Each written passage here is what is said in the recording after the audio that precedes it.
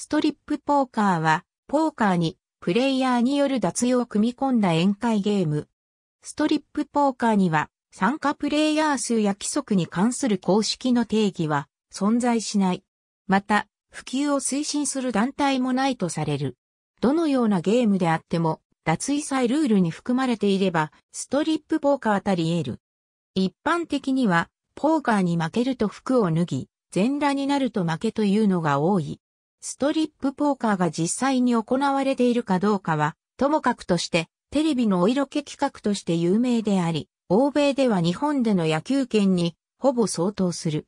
2005年には、プレイボーイのモデルと WWE のレスラーがストリップポーカーをプレイするペーパービューのテレビ番組、ナショナルランプーンズストリップポーカーが放送されている。ストリップポーカーは、レディガガのポーカーフェイスのミュージックビデオでも取り上げられた。ストリップポーカーは、コンピューターゲーム黎明期の題材として有名であり、欧米では日本での脱衣麻雀にほぼ相当する。70年代末から80年代初期に存在したパソコンの中ではグラフィックに優れていた Apple II でのリリースが多く、1982年にアートワークス社が Apple II 用にリリースした一連のシリーズが講師となる。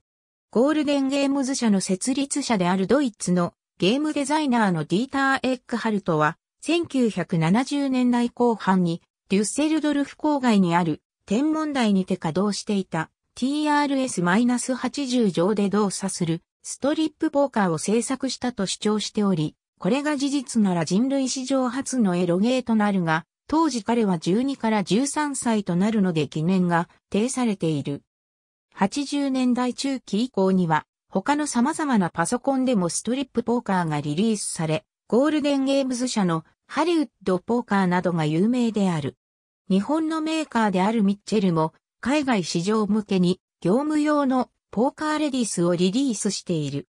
90年代以降はグラフィックがよりリアルな作品がリリースされたり、アニメパロディの同人作品、変態ストリップポーカーがリリースされたり、セクシーポーカーなど、下着までしか脱がない作品がゲーム機でリリースされたりと、日本の夏井麻雀とほぼ同じ進化をたどったが、2000年代以降は、もっぱら、オンラインカジノの一形態となり、ビデオゲームとしてめぼしい作品はリリースされていない。ストリップポーカーは現在でも人気があり、オンラインゲームとしてもプレイ可能である。ありがとうございます。